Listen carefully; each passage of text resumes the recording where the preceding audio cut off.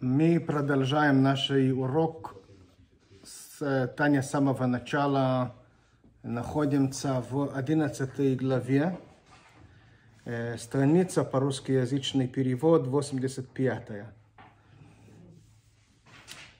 Эм, мы прошлого урока познакомились с достаточно очень серьезной, можно сказать, великий, грешный человек, который грешит раз в каком-то квартал или год, и то его грехов не, не повторяется, одно и того же грех раз в какое-то время.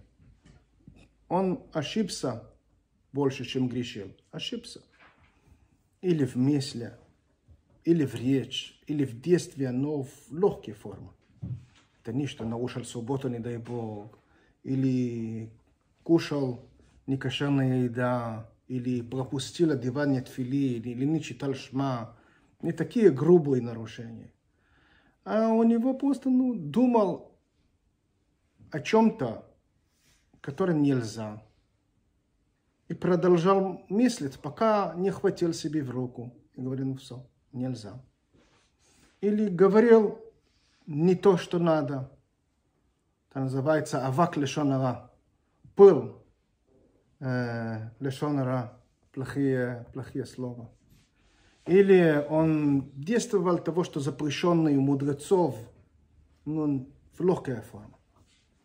И сразу после этого он просил прощения Всевышний. И Всевышний его простить за этого. Простить. Почему? Потому что он себе контролирует. Он не постоянно грешит. И не грешит и повторяется своего греха. Это человеческая ошибка. Это в гран человечества. И это не повторяется. То есть, когда мы ругаемся с близкого друга, и, и другом провинился перед нами, когда этого поступок, который он поступил не совсем корректно по отношению с нами, происходит первый раз. Мы говорим, ну, чего, первый раз просил прощения, чего. А если повторно, причем той же, я говорю, слушай, это у тебя привычка такая. У нас с вами серьезная проблема. А если третий, четвертый, ну, ну не хотим простить. А если он не знает, что это грех? Тогда не знает. Мы говорим, когда мы говорим с человеком, говорим, ну, нельзя так по себе, себе вести. Ну, то есть есть, есть большая разница между того, что человек это делает реально потому, что у него такой характер, потому что такие привычки, потому что он человек, он может ошибиться. И мы говорим ему все, не надо. И он старается, и больше, он реально, мы видим, что ему это больно. Понятно, что, что, что, что его, его прошение, она серьезная, она очень значимая, очень значительная. И поэтому мы прощаем. Конечно же, перед Богом, когда человек провинился, это человек, и он провинился, и он просит прощения, и Всевышний видит, что это ну, не повторяется, конечно, его прощают. Но сказать мы обязаны, думаю, указать на... Посмотрите. Тут мы не обсуждаем, какую роль имеет чужого еврея по отношению с э, другом. Должен он, он предупреждать по отношению с грехов, которые он делает перед Богом. Это отдельная тема. Она должна учитывать того, что услышит он, не услышит тебя, Э, будет он злиться или потом будет и с тобой ругаться из-за этого. Тут есть целая законы, как мы должны относиться к теме, который грешит рядом с нами. Это отдельный вопрос, это отдельная тема. Но мы сейчас говорим о отношении между, между Богом и это человек, между человеком и Богом. Как, какая, как, какая взаимное отношение? И здесь я хотел задавать вам интересный вопрос. когда этого грешный согрешил, он что-то думал не о том, не удержал мыслей, теперь он провинился перед Всевышним, он совершил грех, он раскаивался, и он знает, что той же ошибка не повторится. На время после того, что он раскаивался, он праведник или, или средний? Или он остался грешный? Нет, он остался грешным. Почему? Если он уже совершил грех, это если он не повторит потом, тогда есть шанс, что он уйдет в средний. То есть, А если он иногда повторяет, то нет, он грешный. давай четко я объясню. Я понимаю, о чем, о чем, ты, о чем вы говорите, но давай чуть-чуть дальше отвечу. праведников даже не возникает такого желания. Правильно. Праведник это отдельная песня, вы правильно говорите. Но разница между грешной и, и средней в чем? В чем эта разница? Ну, Тот борется, У а тот среднего, даже не у борется. среднего все под контролем. Нет. Под контроль чего? Животная душа под контролем. Он не, он не, Хорошо, но, но посмотрите. Мы говорили, что все идет во фрон- фронтов, да? У праведник правильно говорит Яков, фронт очень-очень далеко от вообще какие-то переступления гран. Понятно. Это где-то в правый полис и левый полис сердца человека. Где-то очень далеко. Да, понятно. Разница между грешной и бейнони. Мы говорим, что бейнони это человек, который не грешит. А, а, а, а, а, а, а грешный это человек, который вот такой большой, серьезный очень человек, который мы называем, ну, можно сказать, великий, великий э, грешный. Вот между него и Бейнони какая разница, вроде бы, на, на первый взгляд. Получается, что Бейнони просто и это не, не переступает, а он переступает. А если этого грешный не будет грешать э, весь год, конец этого года, который он не грешил, он может поставить галочку, я был Бейнони на это протяжении года. На прошедшее прот- протяжении года. Наверное, да. Да? Вот и так, да. А тебе- Наверное, нет все равно. Потому Почему? что где-то во глубине души он может согрешить. Почему? А Бейну не, не может согрешить. Согрешить это Вы говорите, вы говорите очень правильные вещи, но в чем? Если можно по- просто поставить пальцы, где? Где проблема? Я скажу вам.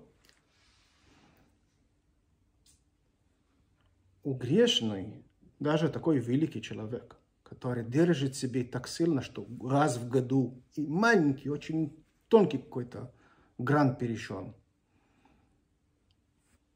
у него, можно сказать, не хватает чем-то. Что не хватает? Богобоязненность. Он недостаточно боишься Богом для того, чтобы поставить крест на любого вида Крест нельзя ставить. X. Это не наша тема. Поставить запрет Да. на любого вида, на любого вида переход грани. Поэтому грешный, мы говорим тут состояние душа, а не переступление. Состояние душа грешное. То есть он может себе удержать, но он захотел. Он может перешагнуть, может. Просто удержал. Ну, например, как. Давай, например, как. Если человек, давай берем пример, доступный пример. Если человек, сегодня есть целые фанатики, которые кушают только правильные пищи. Фанатики. Есть такие, наверное, встречали несколько таких. Всегда есть, встречаются. Фанатики.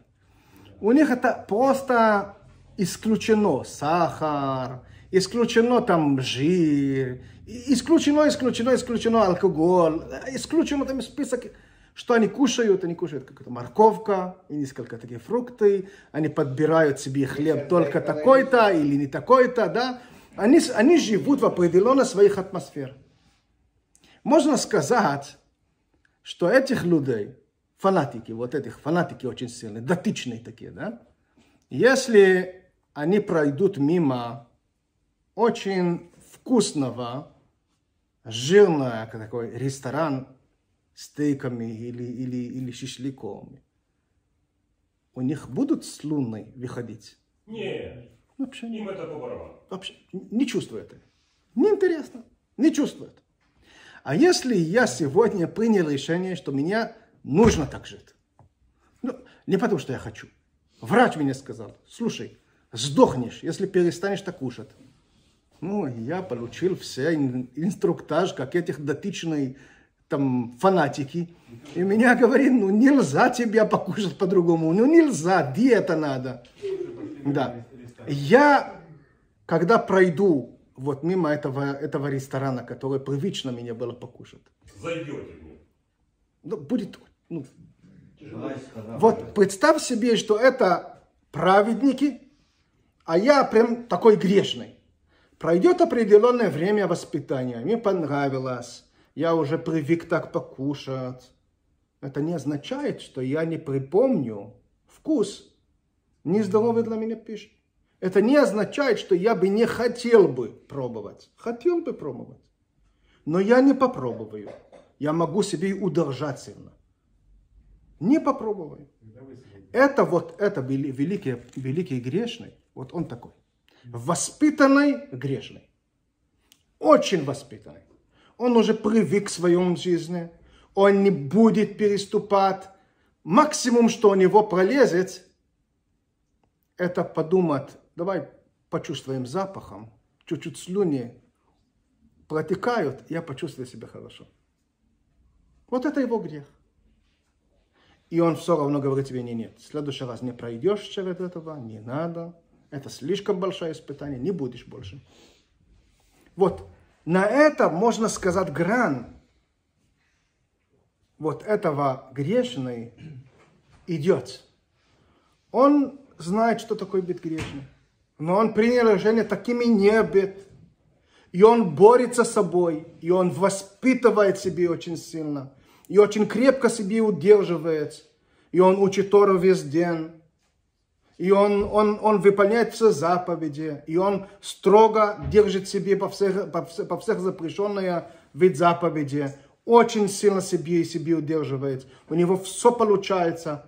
Но не означает, что он бы не мог перешагнуть. Бейнони – это человек, который находится дальше. Он перестал хотеть. Есть такое, есть такое положение. Перестал хотеть. Он уже это не хочет. Он перестал хотеть или изначально? Он перестал хотеть кушать. Он перестал, вернемся обратно к этому пищу, да? Он перестал хотеть так кушать. Он не хочет. Он, он знает, что он покушает, ему, ему станет не- не- ну.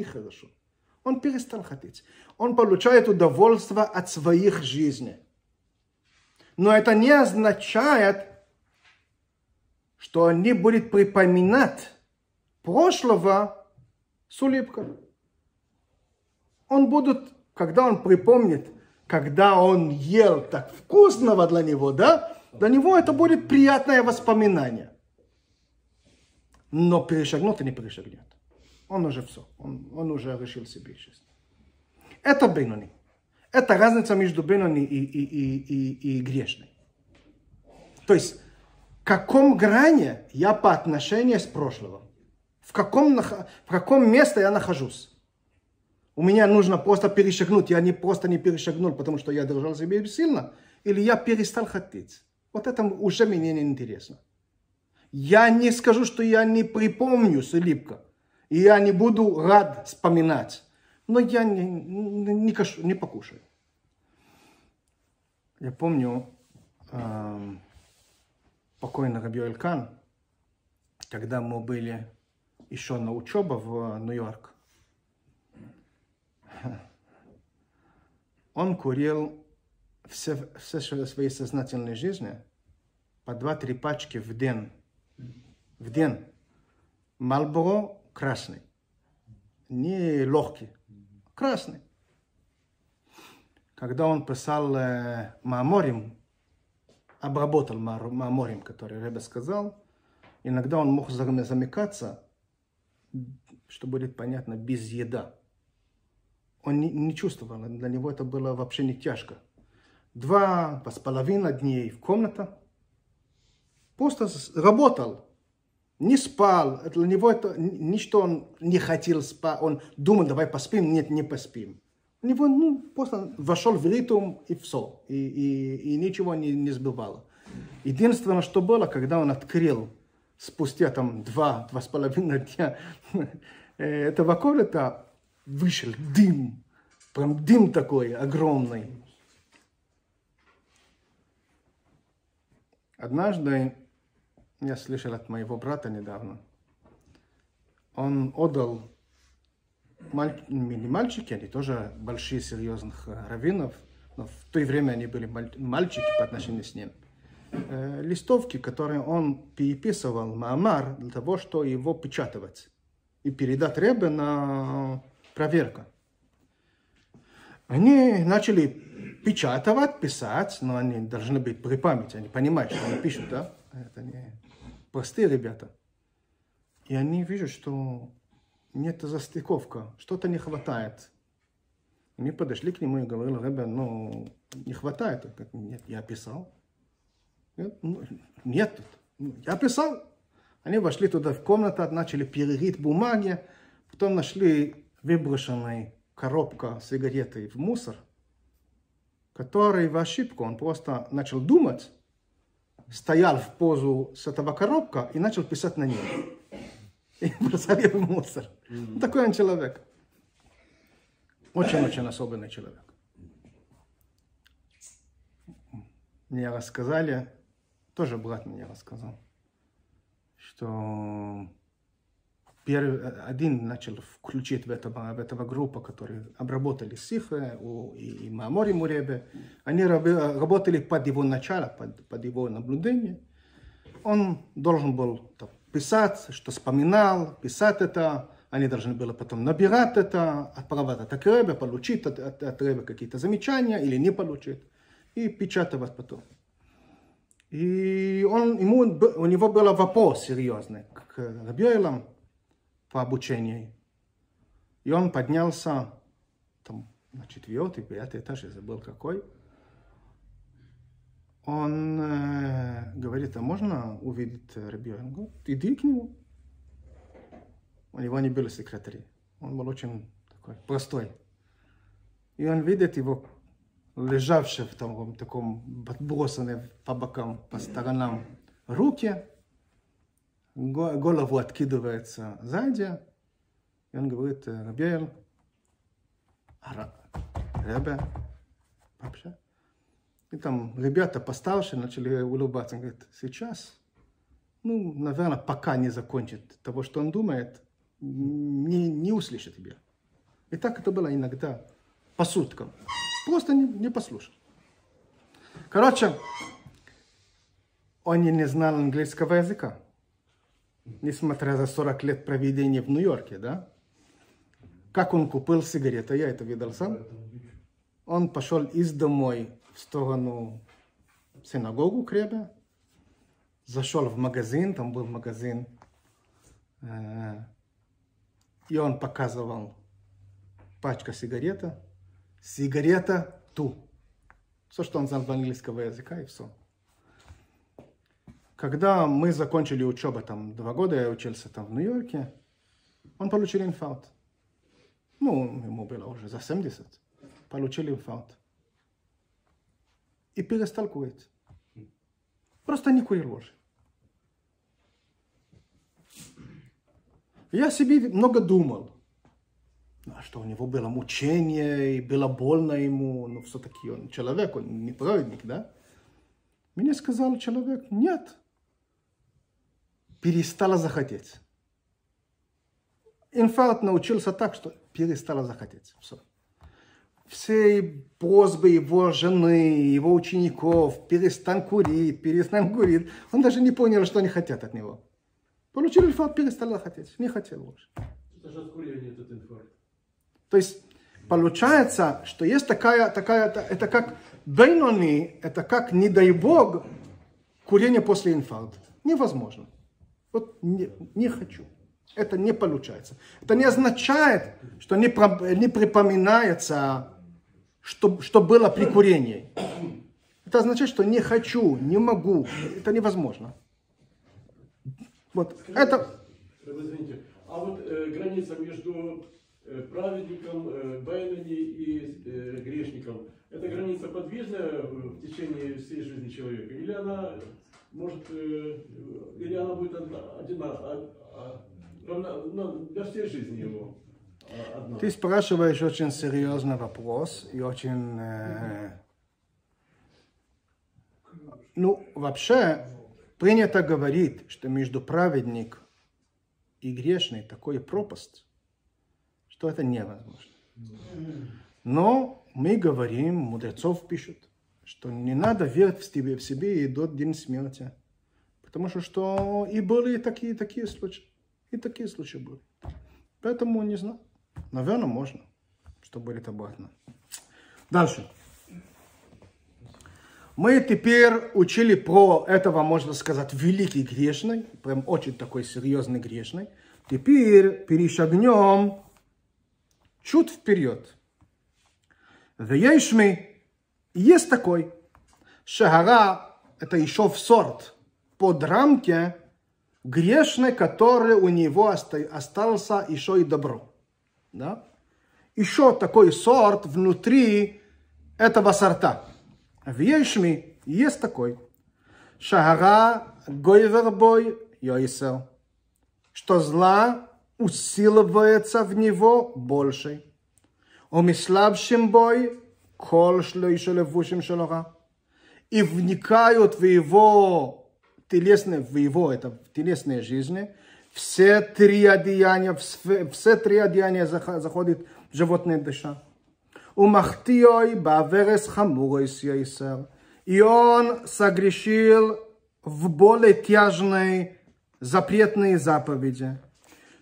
Убеитим кроевим бейсер. И чаше. Чаша. Ах, но, бентаем. Бентаем это значит, между прочим, между времени, да? Мисхарейт, он раскаивается, он сожалеет. Убоим лоирой чуве, и он пробуждает у него чувство раскаяния. Мипхина сатоивша бенавша, откуда это приходит, потому что у него есть добро. Это грешный, который, который добро у него есть. Шемисгабер кцас бентаим, который приподнимается в этом между прочим. И почему они перестают грешить?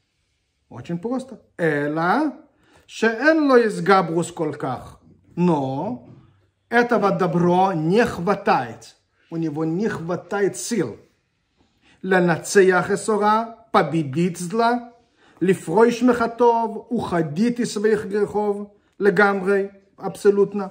להיות מוידה ואיזב, бит, как мудрецов говорят, признался и ушел. То есть есть такое понимание. Я признался от моих грехов и больше не повторили. А он не может это делать. ועל זה אומרו רז"ל, такой человек, говорили мудрецо- мудрецов, Решоим мелеим харотис. Грешный, наполненный сожалением. Шем ройва решоим. И это большинство из грешной. Шеш в бенавшим адайн, который в них остается еще добро. Ну, Яков уже знакомый. Еще не знакомый. Вот от этого далеко я не верю. Вот это, вот это, вот это типичное знакомое обстоятельство. То есть мы знаем, что надо делать. Мы знаем. Это грешник, которому плохо?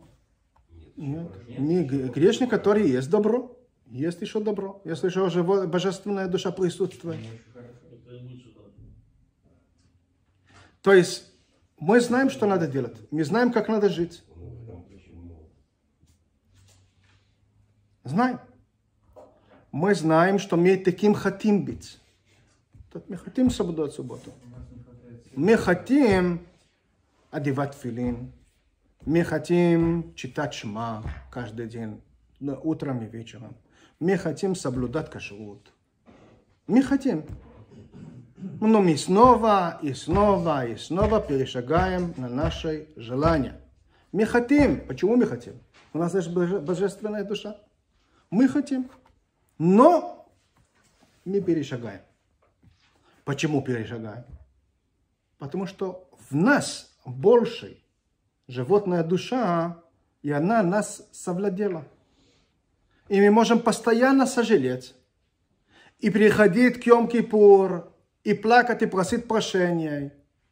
И тем не менее, сразу после Йом-Кипур повторит это. И что нам помогает Йом Кипур тогда? Это отдельный вопрос. То есть получается, получается, что грешный, который у него есть добро, есть второй сорт.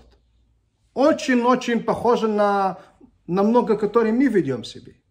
Такой человек, который не хватает у него прочность устанавливать правила в своих жизни. Ему врач сказал, у тебя, не дай бог, сахарный диабет, не кушай сладкого. Ну, он проходит через магазин и взял себе шоколад. Он не может он. Не, ну, не способен контролировать. У него нет стойкости. Говорит, нет, все, хватит, нельзя. Зависимость. Да. Он привык. Он привык включить э, кондиционер, когда ему жалко. А субботу, ну, жалко. Ну, жалко. Э, Ему не хватает света в, в комнатах, когда он заходит. Ну, су- субботу, ну, ну, всего лишь, ну, найти тут что-то, ну, а найти завтра, что нельзя? Нет, сейчас надо. Ну, Включился. Прошел мимо какой-то ресторан, который вспомнил, что он был очень вкусный. Не кошерный, я начал соблюдать кашрут. Ну, не будем есть свинину. Все остальное можно. И так далее. То есть он говорит себе, не надо. Но нет. И он выходит, он переступил грань, и он говорит, почему я это не удержал себе? Я не буду больше так, я хочу быть правильный. И он реально так хочет. Как говорят мудрецов, грешный, наполненный сожаление. И он сожалеет, и сожалеет, и сожалеет, и сожалеет. Но держать себе в руку не может. Мы не говорим о болезненной тяге, правильно? Это Мы не- говорим о Всевышнему и Тору. Нет, о, о людях, о людях, которые вот не могут вот удержаться никак. Это болезнь не исключается, правильно? Я понимаю, что тебе тяжело понять, потому что ты не в их числе. Но я говорю о тех, которые понимают меня. Которые встречают это себе в жизни иногда. То есть я решил, я решил, что мне надо быть правильный еврей. Но все-таки перешагнул. Почему? Ну, так, привычка такая. Но в нем не хватает стойкости из-за его характера, из-за каких-то... За привычка. Привычка это очень сильно. Вот меня, я припоминаю, когда я еще надеялся, что я стану получше. Это было еще при 16 лет. Я еще думал, что я от меня толку как-то будет. И я подошел к Рамену Футрафас. Я говорил ему, что у меня есть такие какие-то проблемы. Я хочу вот это учиться, вот это, вот это, вот это делать, вот серьезно относиться к молитве, очень серьезно относи- относиться ко Всевышнему, к его просьбе. Но я каждый раз, ну, ну никак, никак. Время хватило. И сейчас хватает. И он, он был очень мудрый человек, реально очень мудрый человек. И он мне говорит, ну, ш- что, что ты хочешь? Ты знаешь, когда человек больной, когда человек больной, физически больной, он будет лежать, лежать в кровать на левый бок, через несколько минут начнет ему болеть правый. Переворачивается он на правый, через несколько минут начнет болеть левый. Он переворачивает на спинку, живот начнет болеть. Переворачивает на, на- на живот, спина будет болеть. А что надо делать? Лечиться. Говорит, ты типичный больной. С тобой надо заниматься лечением. Проблема, моя несчастье, что он уже не вернулся, к сожалению, в Ешиву. Он ушел э, уже он переболел реально, и спустя полтора года он э, прощался от физической жизни. Я не уверен, что если встречал с ним, стало лучше, но хоть была надежда. То есть, о чем я говорю? Говорю о том, что это очень знакомая ситуация. Мы принимали решение быть правильной, а привычка взяла, взяла верх. Мы не можем переломать себе. Почему? Такими. То есть это тоже грешный и тоже имеется добро. Если не было добра, то не сожалел никогда. Ни о чем не сожалел. А за, за что ему сожалеть? И тем не менее, он не может себе удержаться. То есть, в общем, он еврей. В общем, он даже считает, считает себя верующий еврей. И даже религиозный человек, но он постоянно грешит. Но есть еще сорт, еще ниже. Ну вот да. это ближе к нам будет. Не знаю. Мы поговорим потом. Ах! Миша Ной Мисхарет Лейлом. Человек, который никогда не, заж... не жалеет. Он не жалеет. Вен боим ло юре чуве клал. И его не посещают даже сожаление. Мысли раскаяния. Нико Рошо вралой Он грешный, который у него осталась только животная душа. Божественная душа в его жизни не присутствует. Шагара шебенавшой. Почему? Потому что зло, которое в его душа, животная душа, ху левадой нишор бекирбой. Он единственный внутри, се- в- внутри него. כי גובר כל כך על הטוב, он так настолько усиловал себе и победил добро, божественная душа, а че не стали к Микирбой, до того, что божественная душа прилетела от него, улетела от него, она, при, она ушла. Воймед, Мебхинас Макив, Олов Миламайло. А где божественная душа? Она улетела, то он, он перестал быть евреем. Он все, он уже покойник, не еврей. Нет. Она у него на поверхностное состояние. Что такое поверхностное состояние?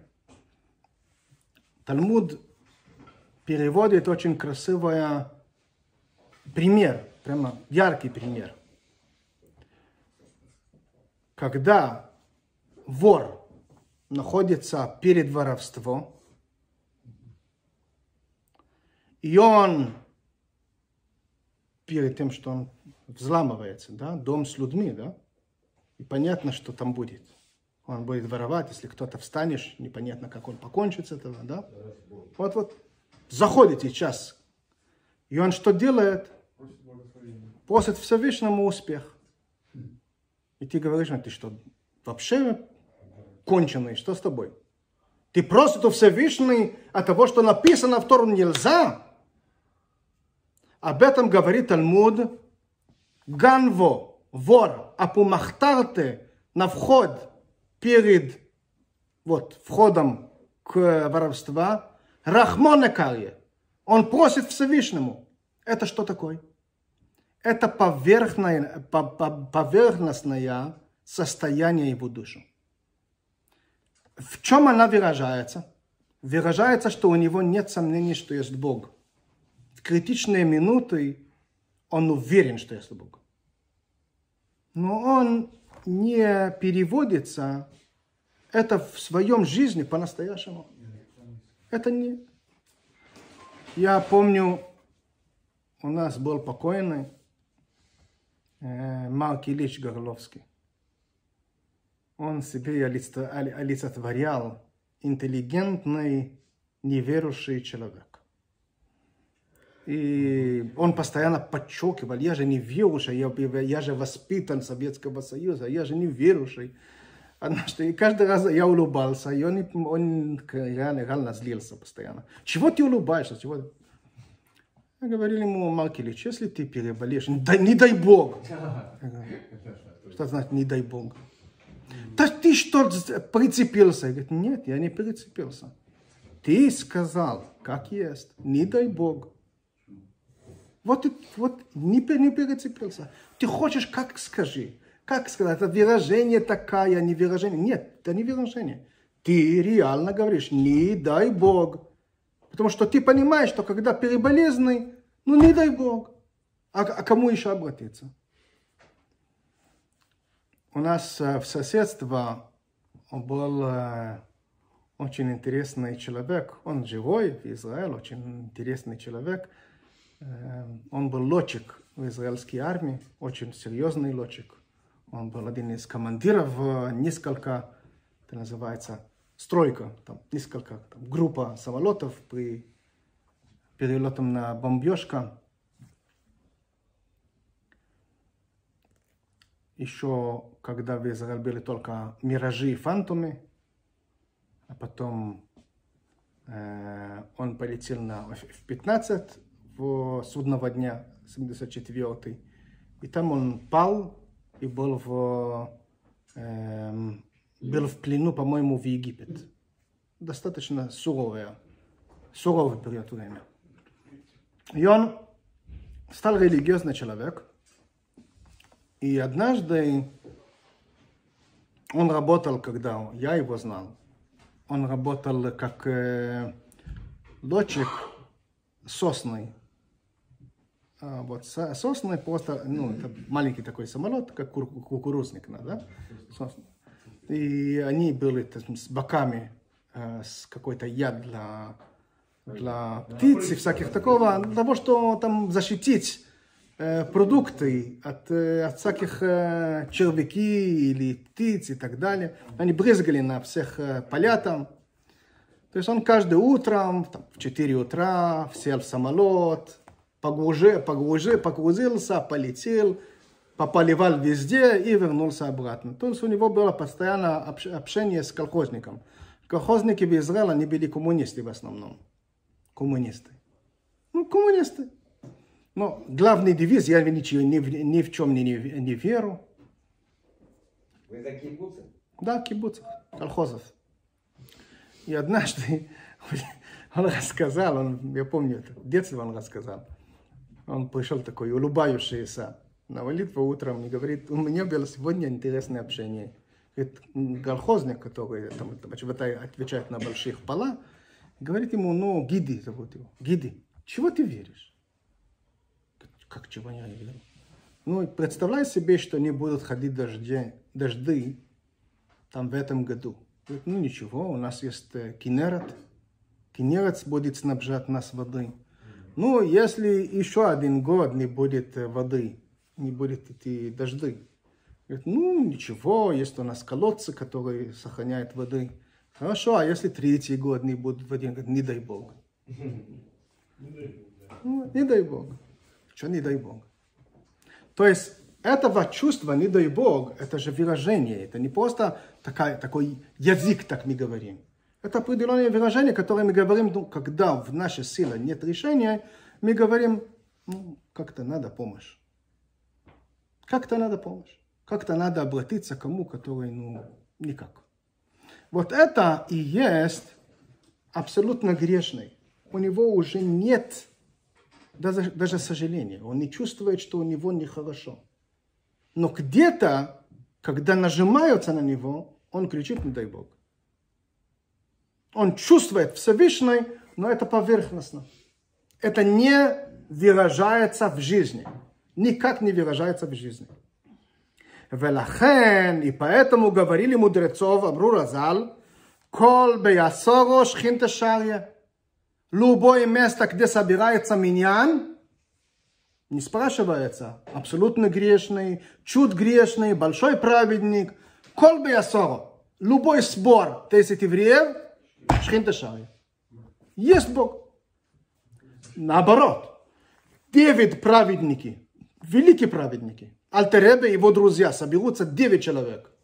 Молиться, у них нет есть. Придет просто какой-то жулик из-за улицы, И будет. Есть очень, очень красивая, реально очень красивая история. Один из э, не, не, необычный, неординарный праведники э, Эраб Альтеребе, и это был его друг, и он пишет по этого книге, в начале книги, свою рекомендацию, Рабзуши из Аниполи. Он похоронен рядом с э, Магидис Мезрича в э, Аниполе. То есть Магидис, э, он, он, у него, он жил в Аниполе. У него была группа разбойники, бандитов, вари, который он постоянно их приблизил к себе. Ну, не надо быть так легкомысленно, когда мы говорим об этом. Мы говорим в то время, когда не быть религиозные евреи, это было абсурд. Это было как-то тинери. То есть без бороду это вообще немыслимо вообще было. Не ходить на молитву утром, это вообще не, немыслимо. Это вообще было исключено. То есть людей, которые сидели дом, домам в, в доме или в синагоге, учили Тору там, сколько они только могли, между работу, до работы, ночью, утром. Это было большинство из еврейского народа. То есть в то время быть, быть вор,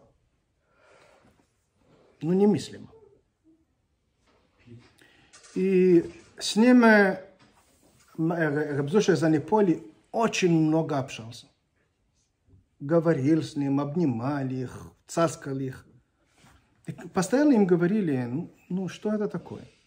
Чего ты прилаживаешь на них так много усилий? Тем не менее, тем более, что они не стали праведники благодаря твоей общению. Они такие же. А Рабзуша промолчал. Однажды вот этих разбойники, еврейские разбойники, решили, что есть крупная, им крупно повезло.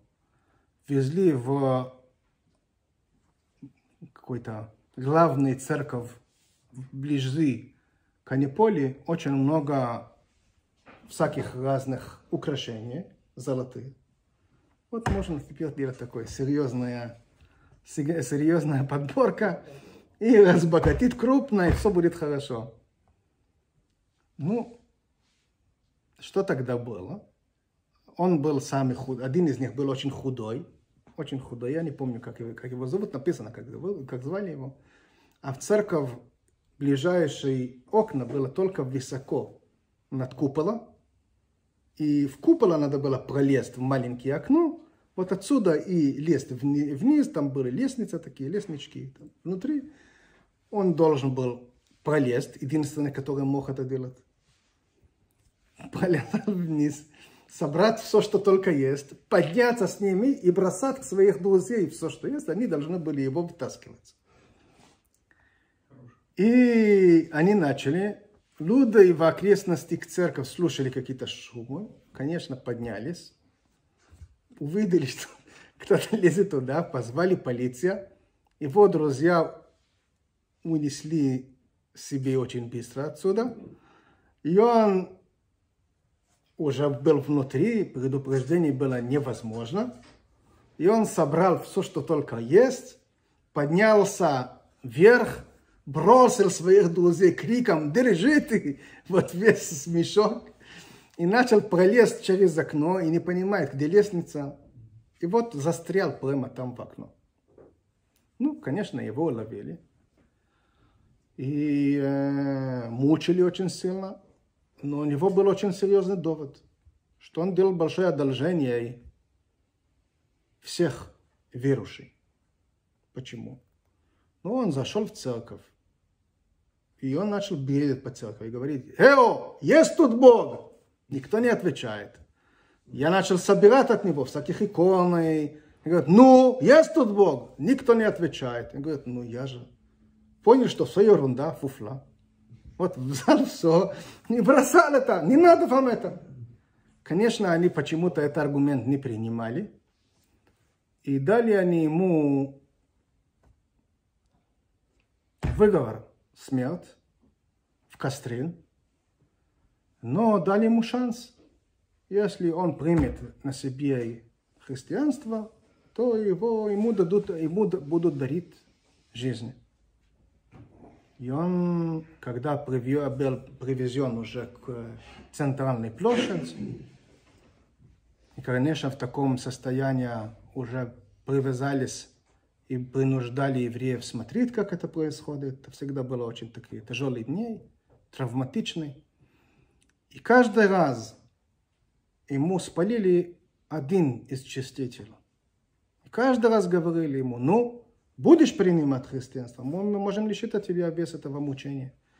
И он каждый раз попрыгал с криками, говорит, я, может быть, и вор, но я еврей, еврейский вор. И вот так он погиб. А как э, звали его? Я не помню, я не помню, я могу уточнить. И после этого говорил Рабзуша из Аниполя, вот мои вори – это святые евреи. Поэтому я с ними имею дело.